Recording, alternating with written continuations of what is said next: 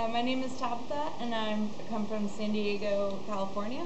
And this is Joe. He also comes from San Diego. Uh, so we were here with Buenas Cosas, and we just finished uh, a class um, teaching us how to make coconut oil, pure uh, coconut oil, and it was a really cool experience. We got to go to a family's house, and they welcomed us and just explained a, a trait that they've been mastering and want to work on and progress. So it was really fun to be a part of something that is hopefully up and coming and that we know we can contribute to and hopefully can take that knowledge back to uh, our homes and you know get it going over there.